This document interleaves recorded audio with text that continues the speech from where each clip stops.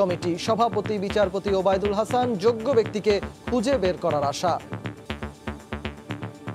রাষ্ট্রপতি যেহেতু আস্থা রেখেছেন জাতির পক্ষ থেকে আমাদের উপরে তার আস্থার সম্মান দিতে চাই আমরা। বাইর করতে হবে অত্যন্ত যোগ্য অভিজ্ঞ সুনামী লোক যাতে মানুষের সব আশা আকাঙ্ক্ষা পূরণ করে। কমিটি নিরপেক্ষ নয় অভিযোগ বিএনপির যোগ্যরাই দায়িত্ব পেয়েছেন বলছে আওয়ামী লীগ। সার্চ কমিটি হয়ে আর যেই হোক এই সরকারের অধীনে কোনো নির্বাচন সুষ্ঠু হবে না। এটির মাধ্যমে সুন্দর একটি নির্বাচন কমিশন হবে এবং বাংলাদেশে অত্যন্ত সুন্দর একটি জাতীয় নির্বাচন অনুষ্ঠিত হবে। দেখছিলেন প্রধান শিরোনাম সন্ধ্যার সময় সঙ্গে আছি আমি। এবার অন্যান্য শীর্ষ সংবাদ। লবিস্ট নিয়োগের টাকা কারা কীভাবে পাঠিয়েছে খতিয়ে দেখছে স্বরাষ্ট্র মন্ত্রণালয়। ভৌগোলিক কারণে চাপে রাখতে অপপ্রচারের অভিযোগ পররাষ্ট্রমন্ত্রীর। যেতে পারে শিক্ষা প্রতিষ্ঠান, বলছে পরামর্শক কমিটি।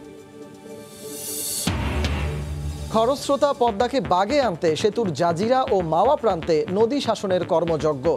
ডিসেম্বরের মধ্যেই চট্টগ্রামে বঙ্গবন্ধু টানেল সংযোগ সড়কের কাজ শেষের আশা। এবং শিল্পী সমিতির নির্বাচনে জায়েদ খানের প্রার্থিতা বাতিল। বিনা প্রতিদ্বন্দ্বিতায় চিত্রনায়িকা নিপুণকে সাধারণ সম্পাদক পদে নির্বাচিত ঘোষণা আপিল বোর্ডের।